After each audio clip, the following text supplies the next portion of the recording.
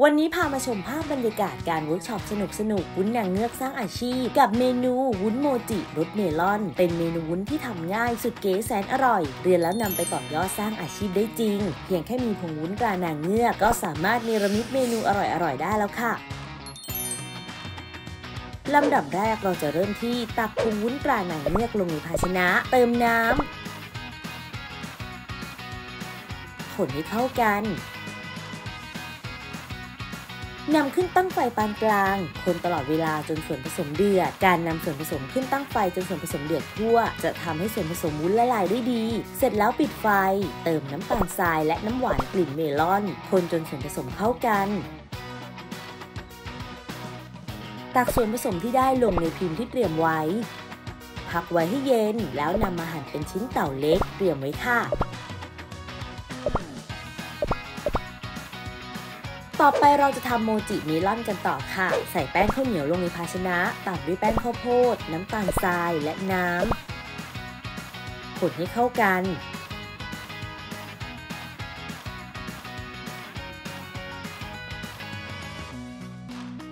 เติมน้ำหวานกลิ่นเมลอนคนให้เข้ากันอีกครั้ง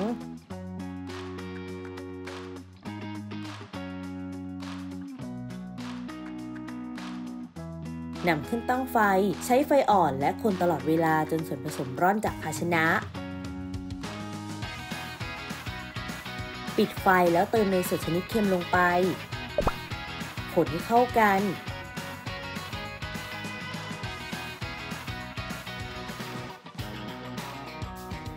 นำส่วนผสมแป้งที่ได้เคล้ากับแป้งข้าวโพดคั่วสุก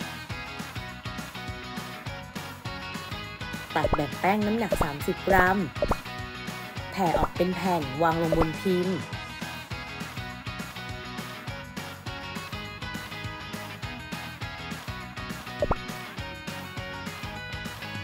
บีบไส้บัตเตอร์ครีมที่ผสมคัสตาร์ดวานิลา ตามด้วยวุ้นหั่นเต๋า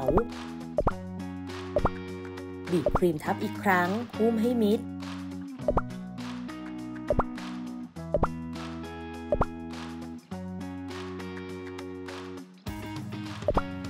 จัดใส่ภาชนะ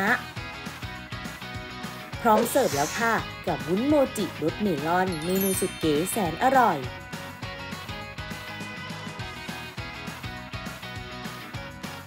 ส่วนใครไม่ได้มาเรียนแต่อยากได้สูตรดีๆ แบบนี้ไปต่อยอดสร้างอาชีพ เข้าไปดูสูตรย้อนหลังได้ที่ YouTube Channel ยิ่งสักฟู้ดทีวีได้เลยค่ะ และอย่าลืมกดติดตามทุกช่องทาง เพื่อไม่ให้พลาดการแจ้งเตือนข่าวสาร การเข้าร่วมกิจกรรมดีๆ แบบนี้นะคะพงวุ้นราหนังเงือก สนับสนุนคนไทย เรียนจริง รู้จริง มีอาชีพที่มั่นคงค่ะ